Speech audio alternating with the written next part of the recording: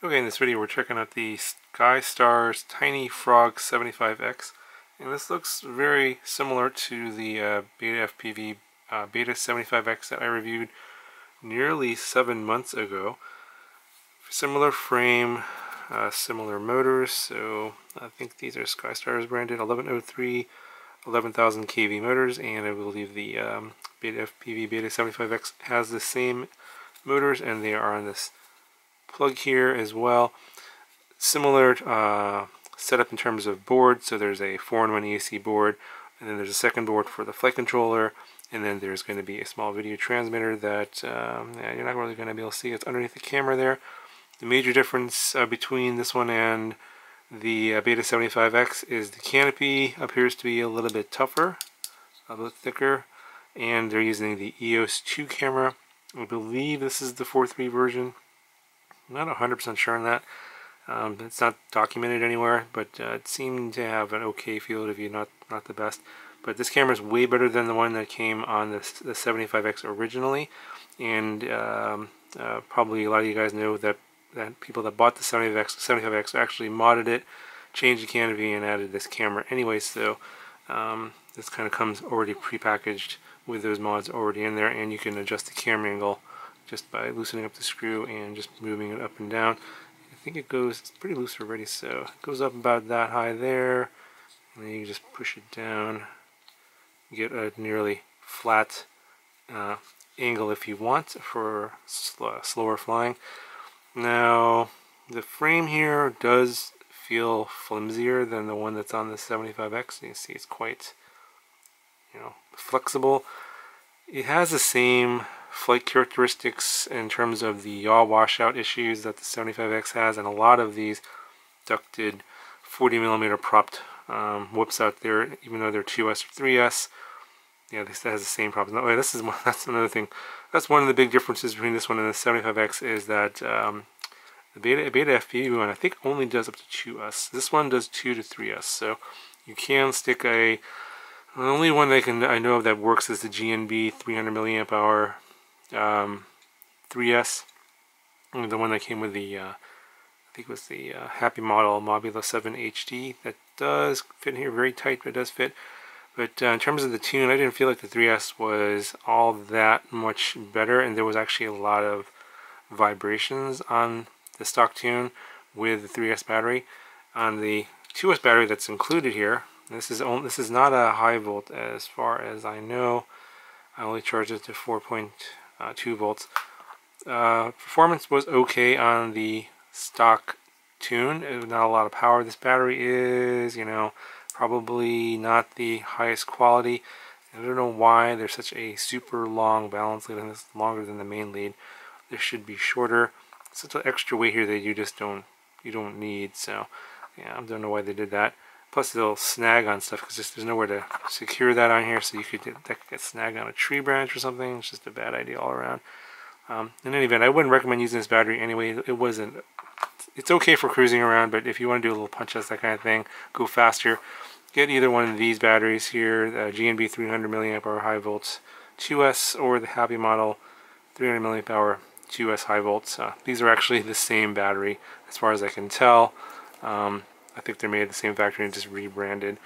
But yeah, put links to those batteries down below, as also as the 3S battery, although you're going to have to retune this if you want to um, fly it on 3S, but I didn't really really feel that much of a difference in terms of flight performance because you're adding more weight to get more power, so it kind of cancels each other out, so I think it's better. Plus the flight times are shorter too, I forgot to mention that. It's just better to get uh, the 2S and get a little longer flight time. You get in roughly two and a half, three minutes if you're just kind of you know, uh, cruising around the park, I think I'll show you the flight demo. That's what I was doing.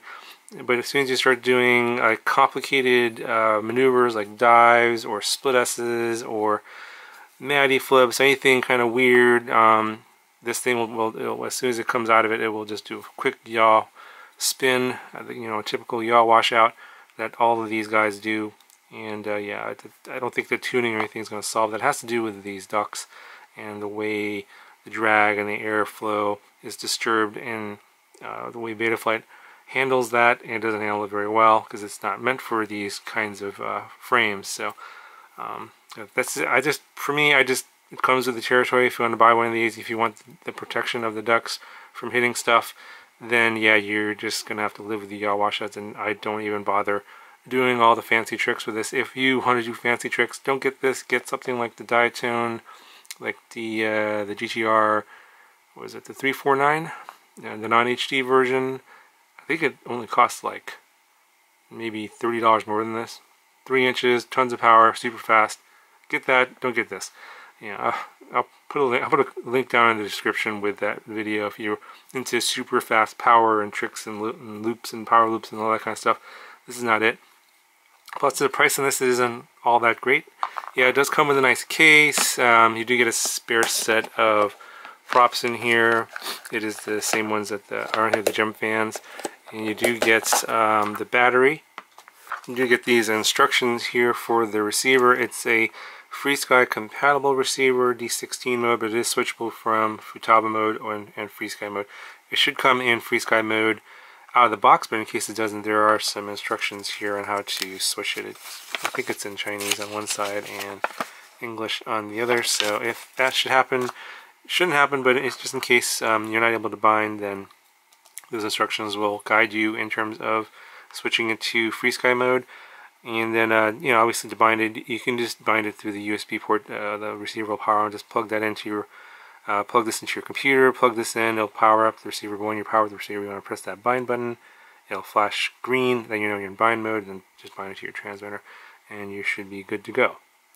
Okay, so one last thing, uh, the video transmitter is uh, smart audio, I think, is it a smart audio or RC Tramp? It's VTX remote control, switchable via your transmitter, and it's switchable from 25 to 100 milliwatts max power, not 200 milliwatts like the uh, Beta 75X. That's another difference that should be noted. Anyway, so overall, it's not a, you know, bad, uh, you know, 2S whoop compared to a lot of us out there. I think it's pretty much in line with a lot of things that are out there. And if you're thinking about getting the Beta 75X and modding it with the EOS 2 camera, this is not a bad option. It comes with the better props anyway. It comes with a better canopy, and you don't have to do any modding. And the tune for 2S seems to be okay if you're just, you know, you know, just ripping around the park and just, you know, doing like, you know, you know, basically just going in straight lines and not doing a lot of flippy floppies. This should be fine for that. Um, don't really have much to say about this. You know, this genre has been around for the last uh, six, seven months now. Um, you've seen a lot of videos on these guys on my channel, so you know you kind of already have an idea of what I'm talking about with these guys. These the, the company here, SkyStars, is a little bit late to the game. I think that now that the weather's warming up, um, I think interest in these is going to kind of wane a little bit. Um, so this is a bit, uh, you know, it's nice. Uh, it's pretty polished out of the box, but it's a bit late to the game in my opinion. Anyway, if you guys are interested, I'll put a link down in the description, and I'll roll you some flight footage. If you guys have any questions, let me know. Alright, so I forgot to give you the weight like I always do. Um, it weighs the same as the uh, 75X, by the way. I actually weighed this earlier. It's uh, about 40 grams, I believe. Yeah, that's roughly, it's like 41. It's roughly about the same, so maybe like within a half a gram or a gram of the 75X. But it, this comes with the uh, EOS 2 camera instead of the uh, crappy Z02 camera that uh, BetaFPV comes stock with on that one plus uh, a more durable canopy. So I think they're taking the weight out of the frame and putting it into the camera and the canopy, which is which is fine by me. Anyway, uh, here's some flight footage for you.